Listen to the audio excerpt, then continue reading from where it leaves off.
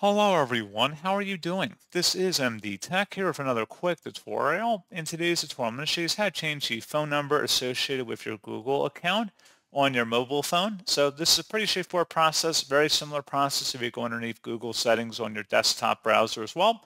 And without further ado, let's go ahead and jump right into it. So on our phone, we're just going to swipe up and we're going to select the settings gear button.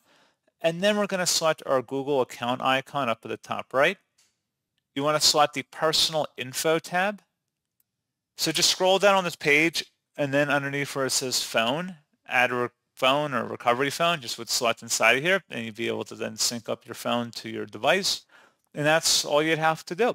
So pretty straightforward process, guys. And as always, thank you for watching. I do hope that I was able to help you out, and I do look forward to catching you all in the next tutorial.